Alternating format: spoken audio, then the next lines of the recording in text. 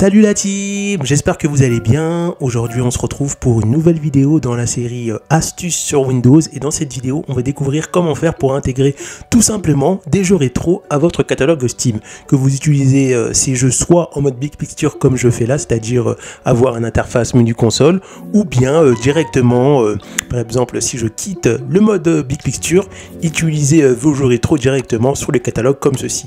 Donc c'est largement faisable et comme vous pouvez voir ça permet vraiment de à vos jeux rétro directement à partir du menu Steam. C'est simple à faire, c'est pas trop compliqué et on va découvrir comment faire ça dans cette vidéo. Alors n'hésitez pas à vous abonner à la chaîne, à mettre un gros pouce bleu et activer la cloche de notification parce que ce sont des moyens gratuits qui permettent de soutenir la chaîne. Alors la première étape, vous allez cliquer sur le lien correspondant en bas de la description de la vidéo et vous allez arriver sur le site d'Emudec et là il va tout simplement falloir descendre. Normalement le lien ça sera télécharger Emudec, ça va vous mettre directement sur le site et on va s'arrêter ici. Ce qu'il faut savoir c'est que Emudec c'est gratuit euh, sur le Steam Deck parce que le Steam Deck est sur Linux donc là c'est gratuit. Par contre sur Windows il va falloir euh, s'abonner au patron juste à moi pour récupérer euh, la version Early récupérer la version Early Access. Je sais que mon anglais il est pas ouf, mais passons. Récupérer cette version pour Windows parce que sur Windows elle est encore en préparation, mais cette version elle est quand même bien stable. Donc pour les intéresser, ça coûte que 3 euros. Donc vous vous abonnez juste un mois. Donc vous cliquez sur Become to Patron et il faut choisir au minimum cet abonnement là. Donc vous faites devenir patron. Ensuite, quand vous avez ce message, ça veut dire que votre abonnement est confirmé. Voilà. Une fois que c'est fait, vous allez cliquer sur le lien correspondant en bas de la description de la vidéo et vous allez télécharger ceci. Donc on va télécharger sur Click Here pour le télécharger. Voilà, ça va vous mettre ça et ça, il va falloir directement euh, l'installer. Donc là, je vais l'installer. Voilà, ça va se faire très simplement. Next, etc. Voilà. On fait ça, on passe, on passe, on passe, on passe, on passe. Voilà. Là, ça va s'installer. On va attendre que ça s'installe correctement. Ensuite, vous décochez View, Release, Release Note ou je sais pas quoi. Ensuite, une fois que c'est fait, vous quittez et on passe au suivant. Vous allez cliquer sur le lien correspondant en bas de la description de la vidéo et là, on va télécharger Emudec. Donc c'est parti. Je clique sur exécutable. Voilà. Donc là, c'est pareil. On fait ça. On fait exécuter quand même. Et là, on va télécharger Emudec sur Windows. Donc là, euh, c'est comme pour la version euh, sur euh, SteamOS, sur Linux. Ça fait à peu près la même chose. C'est très intéressant. Ensuite, ça va vous mettre ça. Et là, il va falloir se connecter avec votre compte auquel vous êtes abonné euh, tout simplement euh, à Emudec sur euh, Patron. Donc là, je vais me connecter. Ensuite, là, ça me demande ça. Je fais Allo. Voilà. Et normalement, ça va terminer l'installation d'Emudec. Donc là, ça fait succès. Donc voilà, c'est un succès. Ensuite, je récupère ça. Je fais un CTRL-C. Hop. Et je le mets directement ici. Voilà. Et je fais Check Token. Ensuite, une fois que j'ai fait ça, là, on peut procéder à l'installation d'Emudec. Alors, c'est parti, on va dans Custom Mode. Ensuite, on choisit le disque dur. Donc là, je fais OK. On va prendre le C, je fais TAC.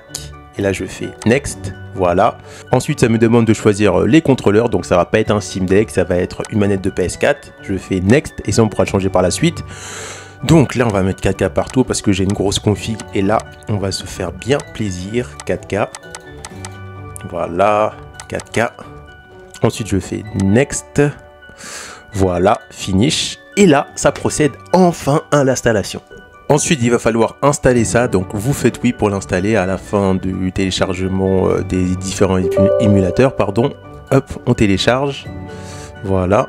Ensuite, une fois que c'est terminé, on peut cliquer par exemple ici sur Added Game. Ça va nous expliquer un peu comment ça fonctionne. Open Steam Road Manager. On va l'ouvrir. Donc on va attendre un petit peu que ça s'ouvre. Et voilà. Ensuite là, vous allez juste ici sur euh, le logo Emudec en bas, vous allez cliquer dessus. Ça, on peut le fermer parce qu'on n'en a plus besoin. Voilà.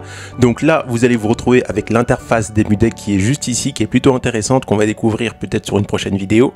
Et on va s'intéresser d'abord à Steam Run Manager parce que dedans en fait on a la possibilité euh, de jouer à ces jeux PS2 donc je vais brièvement vous expliquer. Donc là vous retrouvez tous les émulateurs qui sont disponibles. Vous pouvez euh, les fermer ou les ouvrir pour les utiliser directement avec Steam. Par exemple si je vais dans preview et là que je fais ça là ça va mettre directement tous les émulateurs qui sont disponibles. Donc on retrouve déjà tous ces émulateurs donc une chose qui est intéressante, si par exemple je souhaite mettre des jeux sur Steam, parce que comme ça je peux aller directement sur mon compte Steam et jouer à mes jeux, euh, à mes jeux rétro par exemple, je vais vous expliquer comment faire. Regardez bien, alors pour ce faire, ça va être relativement simple. On va tout simplement ouvrir un nouveau fichier. Donc, je sais pas, je vais ouvrir par exemple le fichier montage vidéo. Je vais sur ce PC. Je vais dessus et là, je vais chercher euh, tout simplement le fichier émulation. Donc je sais pas, il est où? Ah, il est ici. Voilà, je vais dans Rome. Voilà, on va faire l'exemple avec les jeux de PS2 et aussi l'exemple avec les jeux de Switch. Donc je vais ici et là par exemple je vais mettre tous mes jeux de PS2. Donc tous les jeux de PS2 que je possède, je les, ai récupérés euh, légalement. Hop, je vais faire tout ça. Donc je fais un copier-coller. Donc ça, je vais le supprimer. Voilà. Voilà, on est OK. Donc tout ça, je le récupère par exemple et je le mets directement ici. Donc euh, on va faire un CTRL Z parce que je préfère faire plutôt un CTRL C, CTRL V, un copier-coller, pas un truc comme ça. Voilà, donc là je copie tout ça. Ensuite, une fois que c'est fait, je reviens en arrière et là on va directement aller euh, sur euh, la Switch parce que j'ai également récupéré mes jeux de Switch légalement, comme j'ai récupéré mes jeux de PS2 légalement directement à partir de mes jeux que j'ai en version physique. Donc là cette fois-ci je vais sur le fichier Switcher File, Switcher fichier même si j'écris ça à l'arrache, et je récupère directement tout ça. Hop, je fais copier, coller. Donc je mets ça directement ici. Donc là, je fais un coller. Voilà. Et là, on va attendre que tout s'installe. Ensuite, une fois que c'est fait, je vais revenir en arrière et maintenant on va s'intéresser au fichier système de la PS2 et de la Switch parce que pour pouvoir jouer, il faut euh, ben, un fichier système de votre console. Donc moi j'ai toujours une PS2 et j'ai toujours la Switch, donc j'ai directement récupéré les fichiers système que j'ai mis sur mon PC. Pour cela, on va dans BIOS, Yuzu, voilà, donc il faut mettre ici le firmware et là la key, mais on va d'abord faire la PS2 parce que c'est plus simple. On reste juste dans BIOS et là il faut que je récupère les fichiers système de ma PS2, le BIOS de ma PS2 que j'ai récupéré directement à partir de ma propre PS2. Alors où j'ai foutu ça? Donc c'est vrai que c'est un peu euh, le bordel de mon PC. Fichier. Alors, où j'ai mis les fichiers BIOS? Ils étaient normalement... Ah, voilà, c'est là. Donc je récupère euh, les fichiers système, les fichiers système pardon, de ma PS2. Je fais un copier-coller que je mets ici. Voilà, coller. Voilà. Donc une fois que c'est fait pour la PS2, c'est bon. Maintenant, on va s'intéresser à Yuzu. On va aller dans Key. Et dans Key, normalement, il va être directement euh, dans fichier switcher, dans clé. Et ça, je le copie directement ici. Donc là, c'est pas un déplacé que je veux, c'est un copier, hop, coller. Voilà. Ensuite, je peux revenir en arrière, je vais dans firmware et dans firmware, je récupère ça qui vient directement de ma propre Switch que j'ai récupéré. Et je le mets ah, j'allais faire une petite erreur. Je reviens en arrière, je clique sur firmware et je mets tout ça dans firmware. Voilà. Ensuite, une fois qu'on a fait cette étape-là, regardez bien.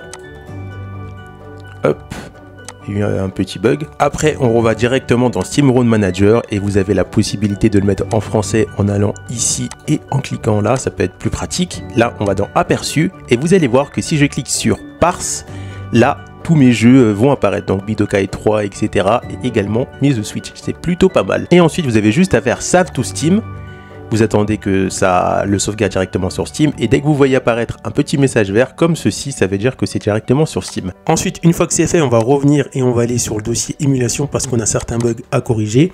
On va aller directement dans Toll. Voilà, on va aller dans Launcher et on va lancer le dossier PS2. Donc par défaut, vous, ça va vous proposer une mise à jour. Vous faites la mise à jour. Une fois que la mise à jour est faite, vous allez dans Setting.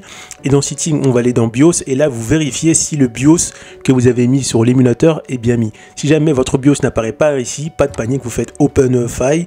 Ensuite, par exemple, je sais pas, euh, je vais ici et je vais par exemple sur ce PC et je cherche le fichier BIOS que j'ai récupéré directement à partir de ma PS2 qui est juste là.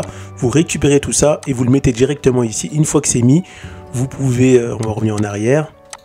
Voilà, une fois que c'est mis, vous pouvez fermer, vous revenez ici, vous faites refresh list et normalement c'est fini. Et une fois que c'est fait, là on peut fermer et à partir de ce moment-là, l'émulateur PS2 fonctionne correctement. Maintenant on va passer à l'émulateur de Yuzu, on va cliquer dessus. Donc voilà, donc si jamais vous voyez ça quand vous ouvrez cet émulateur, c'est-à-dire que le firmware et les clés fonctionnent. Maintenant, on va être face à un défaut qu'on va retrouver également euh, sur euh, l'émulateur PS2, c'est que euh, les contrôleurs, votre manette ne va pas être reconnue à la fois sur l'émulateur de PS2 et à la fois sur Yuzu. Pour régler ça, c'est très simple sur Yuzu. Vous allez dans émulation, configuration. Vous allez connecter votre manette en Bluetooth. Donc moi, je vais la connecter directement en Bluetooth. Voilà. Une fois que votre manette va être connectée, vous allez dans contrôleur et là vous allez sélectionner directement votre manette. Donc euh, moi la manette elle est là, pardon je me suis trompé, elle est ici. Donc quand je bouge la manette de PS4 ça va bouger euh, ça, voilà. Et une fois que c'est fait vous faites OK. Donc là c'est validé. Et là vous quittez. Et maintenant on va paramétrer les contrôleurs cette fois-ci sur l'émulateur PS2. Mais pour le faire on va le faire directement sur Steam. Donc là je peux fermer. Voilà, donc une fois que vous avez fait ça, ça, on peut fermer. La chose que vous devez prendre en compte, c'est qu'à chaque fois que vous allez utiliser Steam Road Manager pour faire apparaître euh, tous vos jeux d'émulation directement sur Steam, vous devez aller ici par exemple, on va aller euh, dans euh, gestionnaire de tâches, vous devez vérifier que Steam n'apparaît pas dans le gestionnaire de tâches. Parce que si Steam est ouvert pendant que vous euh, utilisez euh, le Steam Road Manager ou bien que Steam n'est pas entièrement fermé quand vous utilisez le Steam Road Manager, vos jeux rétro, que ce soit PS2, Switch ou Game Boy Advance ou autres, ne vont pas apparaître directement sur Steam. Pour que ça apparaisse, il faut vraiment fermer entièrement Steam. Donc on voit que Steam n'apparaît pas ici. Donc là, je peux ouvrir Steam. Donc là, je vais l'ouvrir. Et quand je vais l'ouvrir, vous allez voir que ça va directement apparaître dans Steam. Donc on attend un peu, donc ça charge, je vais dans bibliothèque. Et là, ça apparaît. Donc on va prendre un exemple avec, euh, je sais pas moi, on va prendre un exemple. Euh, non, on va prendre un autre exemple. Je pense qu'on va prendre plutôt comme exemple Dragon Ball Z Bidokai 3 plutôt. On va le lancer et vous allez voir qu'on va être face à un nouveau problème. Cette fois-ci, on va faire reconnaître vos contrôleurs directement sur l'émulateur de PS2. Donc je lance le jeu. Voilà. Ah, j'ai reçu un message euh, sur Messenger et vous allez voir que normalement quand vous allez lancer le jeu, malheureusement euh, votre manette n'est pas reconnue. Donc pour régler le problème, comme on a réglé ce problème directement sur l'émulateur euh, de la Switch pour faire reconnaître les contrôleurs, mais cette fois-ci sur l'émulateur de PS2, vous allez cliquer sur la touche échappe de votre clavier. C'est la touche tout en haut de votre clavier, la plus à gauche. Vous cliquez dessus et normalement vous allez voir le menu de l'émulateur apparaître. Avec votre manette, vous allez voir que vous pouvez descendre, vous allez dans Setting et par défaut en fait l'émulateur est configuré pour utiliser les claviers. Alors que nous, on veut pas utiliser le clavier, mais bien une manette. Ensuite, là, on va aller directement dans Setting. Et là, vous pouvez appuyer sur les touches L1 ou R1 pour faire ça. Voilà. Et là, on va aller directement sur le menu manette. Et vous allez voir que, comme je vous avais dit, euh, je sais pas si je vous l'avais dit, si vous cliquez directement ici sur Automatic Mapping, normalement, c'est paramétré pour être utilisé avec un clavier. Donc, nous, on veut pas que ça soit utilisé avec un clavier, mais bien avec euh, des contrôleurs. Donc, on clique dessus. Là, vous appuyez sur rond. Et là, comme vous pouvez voir, ça fonctionne. Et là, vous n'avez plus qu'à valider. Et ensuite, vous pouvez tout simplement jouer à votre jeu. Donc, on va attendre que ça passe. Voilà. Et là, vous pouvez voir que ça fonctionne parfaitement. Et ça fonctionne vraiment, vraiment bien sur Steam. Donc là, on va quitter, on va fermer un peu. Et on va passer à l'émulateur euh, de Yuzu. À l'émulateur de Switch. Donc sur Yuzu, cette fois-ci, on va prendre un jeu de foot. Et vous allez voir que ça va plutôt bien marcher. Quoique, on va prendre, je sais pas moi, un autre jeu. On va lancer Super Mario Kart Deluxe et vous allez voir que tout va fonctionner parfaitement. Donc là, on a vraiment réglé tous les problèmes parce qu'on a réglé les problèmes d'émulation, on a mis les BIOS, etc. Donc moi, les BIOS, je les ai pas récupérés sur Internet, j'ai récupéré ça de façon légale directement sur mes consoles. Et là, vous allez voir que tout fonctionne. Donc voilà.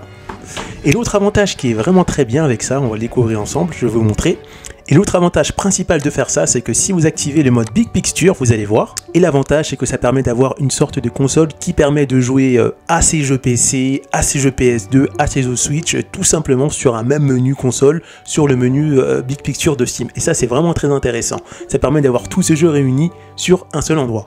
On arrive à la fin de cette vidéo, donc si ça t'a plu, n'hésite pas à t'abonner à la chaîne, à mettre un gros pouce bleu et activer la cloche de notification. Et bien sûr, on se retrouve pour une prochaine vidéo. A plus la team pour retrouver d'autres astuces sur Windows, cliquez sur l'effort du numérique après vous êtes abonné bien sûr. Rendez-vous dans l'onglet Playlist et là cliquez sur la playlist Astuces Windows. Donc pour l'instant on retrouve que quelques astuces Windows mais je mettrai bien évidemment cette playlist à jour dans la mesure du possible. A plus la team